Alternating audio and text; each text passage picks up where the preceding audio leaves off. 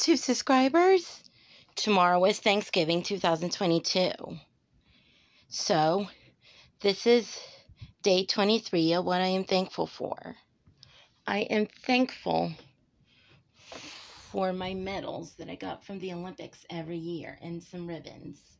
Hope you enjoyed this video. Thanks for watching and please subscribe to the channel.